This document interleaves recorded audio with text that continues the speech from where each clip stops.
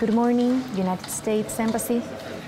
Escúcheme bien. Hay uvas con cianuro rumbo a los Estados Unidos. Hello?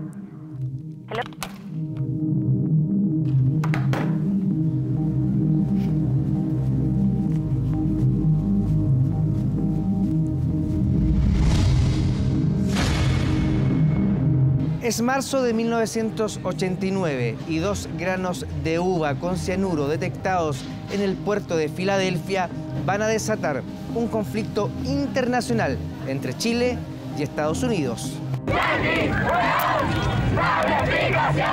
Yo no lo creía, de atribuir esto a, un, a una intención política de Estados Unidos para cuidar la transición. Fue una de las crisis diplomáticas, económicas más importantes que tuvimos en Chile a finales de la década de los 80. Viajé a Estados Unidos esa misma noche. Nadie conocía el tema del cianuro específicamente. ¿De quién es la culpa entonces? ¿Es de los Estados Unidos o es culpa de los nuestros? ¿Usted habló con Pinochet? Sí.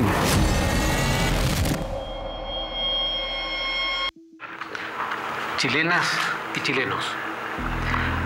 Hace pocas horas, las autoridades sanitarias de los Estados Unidos de Norteamérica, luego de detectar trazas de cianuro en una reducida muestra de uva, han recomendado el retiro de todas nuestras frutas actualmente en la cadena de distribución de ese país, llamando al público a abstenerse de su consumo.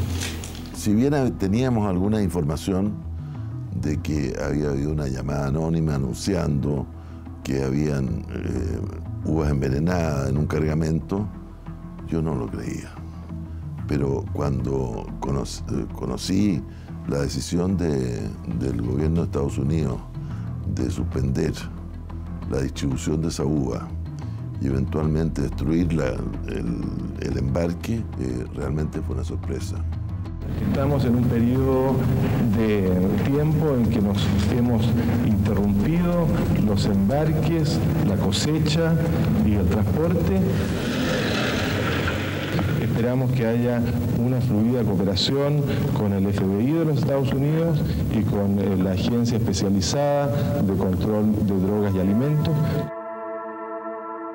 Viajé a Estados Unidos esa misma noche con el objeto de reunirme con la embajada y también con las autoridades si era factible. This embassy received a telephone call uh, telling us that Chilean grapes to be exported to the United States would be poisoned. En general diríamos que el problema a nivel externo es del orden de las 15 a 17 millones de cajas. La uva era lo más importante de la- en la exportación no tradicional, que esta fue la noticia sobre Chile que tuvo más cobertura, más que la del golpe militar. Toda la uva y fruta importada desde nuestro país ha desaparecido de los mercados y negocios del ramo en Estados Unidos. En este supermercado, por ejemplo, de la cadena Safeway, la fruta chilena se retiró a las 8 del día lunes. Era un hecho tremendamente complicado porque nadie conocía el tema del cianuro específicamente, qué efectos podía tener, etcétera, etcétera. La medida fue adoptada después que el Food and Drug Administration, es decir, la Administración Nacional de Alimentos y Drogas, anunciara haber encontrado rastros de cianuro en dos gajos de uva procedentes de nuestro país. porque esta llegó a todos los hogares americanos. Quedaron vacíos los escaparates y con un anuncio y, y- y el riesgo de comerse una uva envenenada, eh, según se decía, y, y cianuro, aquí se muere. Esto significó que miles de kilos de uva, duraznos, melones fueran lanzados a la basura. La uva de mesa era el gran producto que estaba comenzando a tener una participación mundial muy interesante para Chile y por lo tanto aplicaron una acción para complicar el negocio y también una muestra de estar eh, políticamente en desacuerdo con eh, la presidencia de esa época.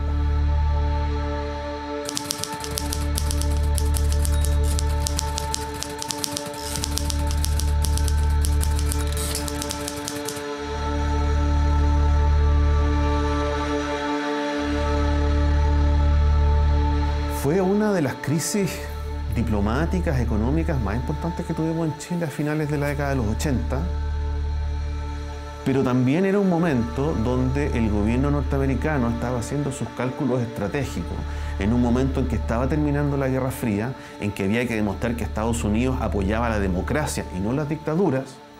A las 9 horas de esta mañana llegó hasta el Ministerio de Relaciones Exteriores el embajador de Estados Unidos. Parece más, lo más probable que, que haya sido introducido eh, el contaminante eh, en Chile. Muchas teorías apuntan a que eh, la sobrereacción de Estados Unidos es un téngase presente hacia Chile de decirle a Pinochet tiene que convocar elecciones rápido.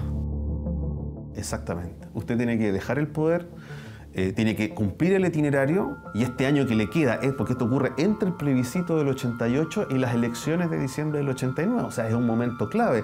Es, el momento también, pocos meses más, se van a negociar las reformas a la constitución del 80.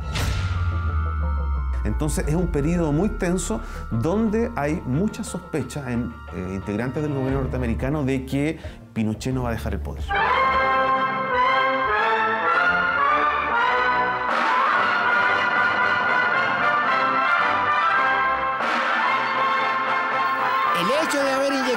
En dos granos de uva de exportación no solo ha producido un daño de incalculables proporciones para la economía nacional.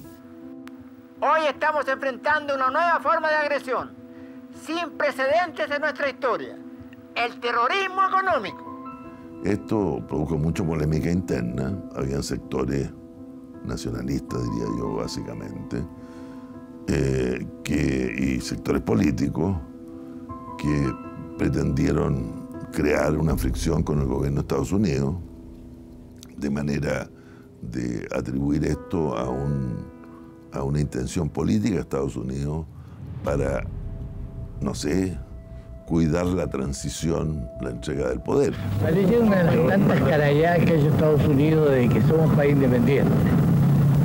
Los americanos creen que somos todos un país bananero. Chile no es país bananero aquí. Bueno, el almirante Merino sí fue un problema, su, su, su, reacción, en el sentido de que él atribuyó la línea nacionalista, por así decirlo. Y mañana van a encontrar que los, los pescados chilenos tienen mucho mercurio, no lo pueden comprar y que sabe que otra cosa más. Dijo que iba a tomar medidas contra eh, barcos norteamericanos que entraran a Chile hablaba de las canalladas, ¿no? de, de, una vez más los norteamericanos nos están haciendo una trampa, una canallada. Eso habla de la desconfianza que se había instalado con fuerza en la, en la Junta de Gobierno. Y hay gente dentro de Chile y fuera de Chile que están hechos. Los que están dentro de Chile se llaman humanoides, comunistas, elegidos por el señor Bolodier. Teitelbon y los otros, y los conocen y los pueden patear donde quieran. Estados Unidos, ¿por qué? El gigantesco letrero que sostienen los trabajadores frutícolas Sergio Valenzuela y Antonio Miranda frente al consulado de los Estados Unidos repite la gran pregunta que se hacen en este momento más de 12 millones de chilenos. Camiones pertenecientes a empresas exportadoras siguen distribuyendo frutas en este sector.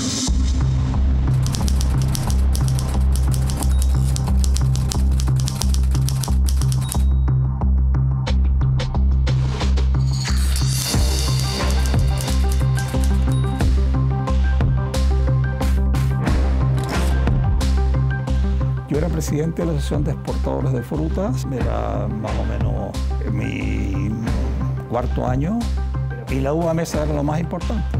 La concentración, que algunos vecinos calificaron como la mayor que han visto en el sector, reunió a trabajadores agrícolas de numerosos viñedos existentes entre San Felipe y Rancagua. Unos 200 camiones repartían 300.000 kilos. O sea, nos perjudica porque es un trabajo que tenemos temporalmente y no... O sea, hay mucha gente que trabaja en esto. ¿no? Estamos quedando más aquí, todo el país aquí, y hay un problema económico aquí. Entonces, si paran la fruta, Nosotros nos vemos trabajar aquí. Uno, uno, puede recordar a Cecilia Boloco, digamos, comiendo uva, los camiones de los productores regalando la uva en las distintas ciudades del país. Es decir, hubo también una, una, una campaña y, y, lo supo aprovechar el régimen de, de, nacionalismo, es decir, Estados Unidos, ¿por qué se meten? Y esta es la uva envenenada que dicen que les queremos mandar nosotros. Aquí dice que está. Tome. Presidente, ¿cómo está la uva? Está muy buena. Lo lo que han encontrado son dos gajos. Dentro de esto. Es muy curioso.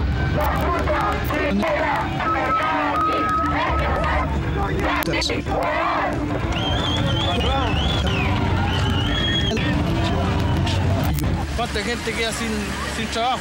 Estoy decepcionado, absolutamente triste por la pérdida, la pérdida social que significa esto para nuestro país.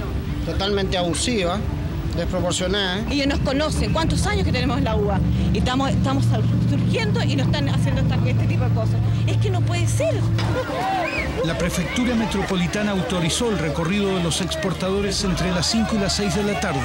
Sin embargo, la multitud que rodeó los vehículos, apoyando con gritos la campaña de los exportadores de la sexta región, obligó a prolongar el reparto hasta pasadas las 7 de la tarde. Y ahí pasó una situación que llegó gente no comerciante que compraron uva para repartirla en las calles. Por ahí votaron una a la Embajada de Estados Unidos en represalia a la medida que habían tomado. Pero... Apoyando hacia los manifestantes que con gritos y pancartas pedían al gobierno norteamericano derogar la medida. Con dos granos. Y sobre todo, y sobre todo es tan poco, porque son dos grasas, dos, dos granos de uva, que escucharon veneno. Y con una dosis ínfima. Una dosis tan pequeña que no mata en un ratón. Se detectaron 0,52 partes por millón. La cantidad que podría provocar un daño severo a un ser vivo más o menos son 300 veces más.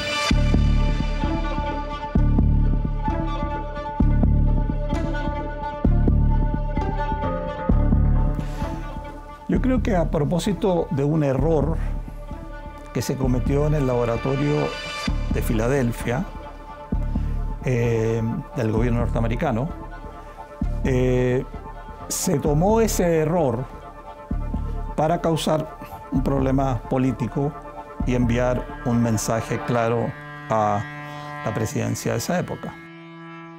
Yo estoy bastante optimista en el sentido de que creo firmemente que vamos a llegar a una resolución prácticamente definitiva el día de hoy. En todas las operaciones de laboratorio hay contramuestras. La muestra en Filadelfia decía que tenía cianuro. Pero la contramuestra que llevó, se envió el mismo gobierno de Estados Unidos a Cincinnati no contenía cianuro.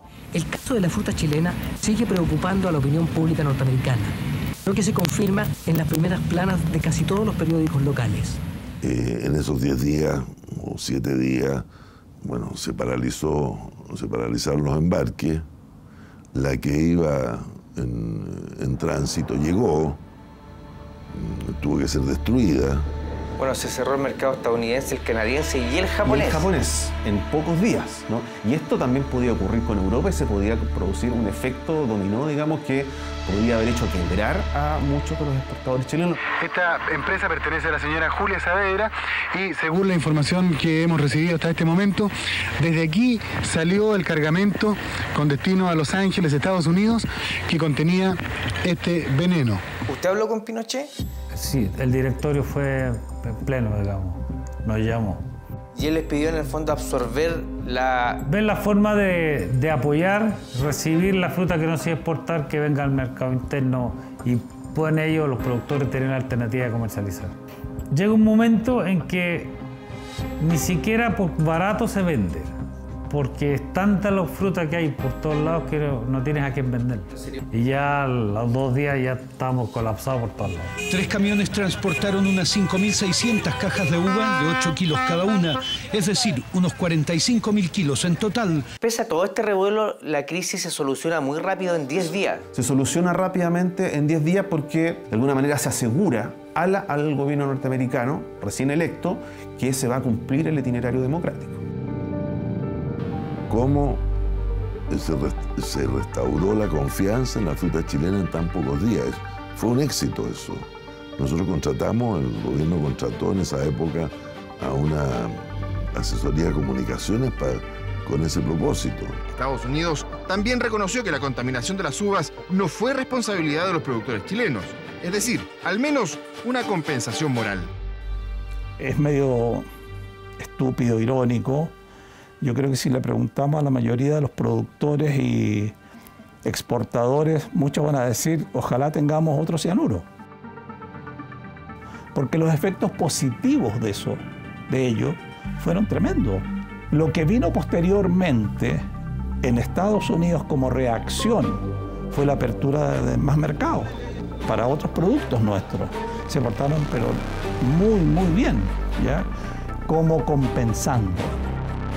Yo creo que si en ese momento exportábamos cinco o seis frutas distintas, eh, se duplicó.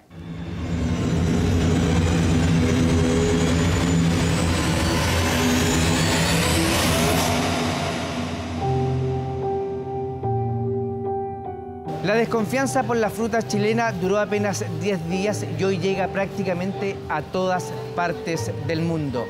Chile y Estados Unidos siguen siendo socios estratégicos, tanto así que el año 2003 firmaron un tratado de libre comercio. Pese a que se votaron y se analizaron miles de cajas, nunca se encontró ni un solo gramo más con cianuro. Lo que nunca se va a saber, ni se sabe hasta la fecha, es quién envenenó la fruta chilena.